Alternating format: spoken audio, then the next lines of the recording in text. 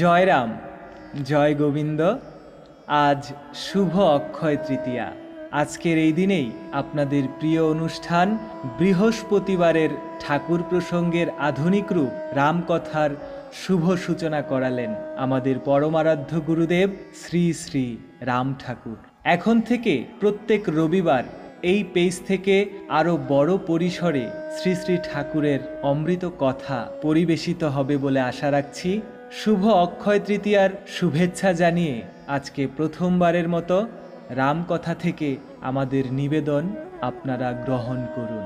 রামকথার প্রথম পর্বেই তাই আজ আপনাদের শোনাতে চলেছি শ্রী শ্রী ঠাকুরের আশ্রিত জনের কাছে এই বিশেষ তিথির গুরুত্ব ঠিক কত প্রত্যেক পর্বে আমরা চেষ্টা করব শ্রী শ্রী ঠাকুরের অমৃত কথা আপনাদের সামনে উপস্থাপন করার জন্য।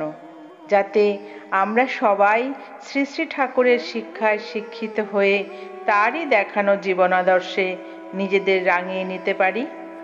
চলুন তাহলে শুরু করি আজকের রামকথা।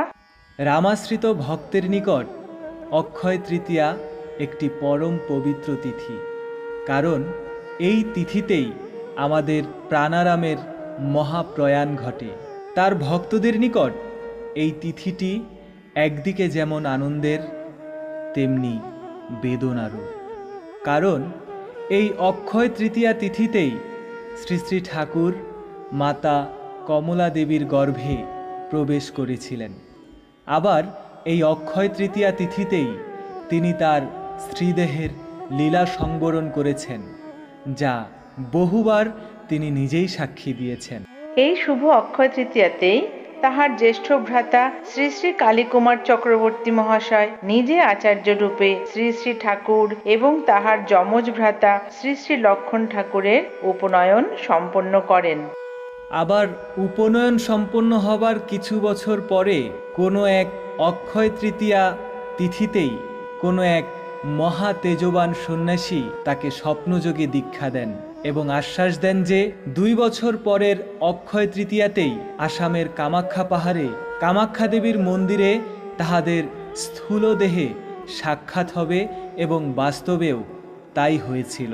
এই মহা তেজবান মহাপুরুষকে আমরা শ্রী শ্রী ঠাকুরের পরমারাধ্য গুরু শ্রী অনঙ্গদেব হিসেবেই জানি। অবশেষে বাংলা তেরোশো ছাপ্পান্ন সালের আঠেরোই বৈশাখ, রোজ রবিবার, ইংরেজির উনিশশো উনপঞ্চাশ খ্রিস্টাব্দের পয়লা মে, বেলা একটা তিরিশ মিনিটে পূর্ণ অক্ষয় তৃতীয়ার মাহেন্দ্রক্ষণে বাংলাদেশের নোয়াখালী জেলার চৌমোহনীতে তারই পরম ভক্ত পার্ষদ শ্রী উপেন্দ্র কুমার সাহা মহাশয়ের বাংলো বাড়িতে সজ্ঞানে অগণিত ভক্তের প্রাণের ঠাকুর তাহার নশ্বর শ্রীদেহ ত্যাগ করেন।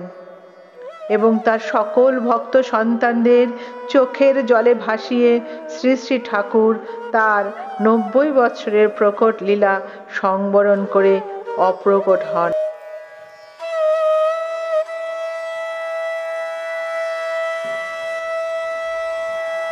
সুধী ভক্ত স্বজন, আজকের রামকথা আর দীর্ঘায়িত করছি না। এই অক্ষয় তৃতীয়া এবং শ্রী শ্রী ঠাকুরের মহাপ্রয়াণ নিয়ে আমরা আগামী কয়েকটি পর্ব সাজাবো বলে আশা করছি। সকলকে দেখার আমন্ত্রণ রইল। ঠাকুর বলেছেন, যেখানে তাহার কথা কীর্তন আলোচনা করা হয়, সেখানে তিনি নিজেই স্বয়ং উপস্থিত থাকেন। তাই নিজে দেখার পাশাপাশি অন্য গুরু ভাই বোনকেও অনুপ্রাণিত করুন ঠাকুর প্রসঙ্গ শোনার জন্য, ঠাকুরের আলোচনা করার জন্য। শ্রী শ্রী ঠাকুর সম্পর্কিত তার পার্শ্বদগণের লেখা মহাপবিত্র বইগুলো একটু পড়ার জন্য। আবার আগামী রবিবার আপনাদের সামনে আসছি। সে পর্যন্ত সকলে ভালো থাকুন, সুস্থ থাকুন, মহানামের আশ্রয়ে থাকুন, করোনা মহামারী থেকে নিজে ভালো থাকুন, অন্যকে ভালো রাখুন। জয় রাম, জয় গোবিন্দ, জয় সত্য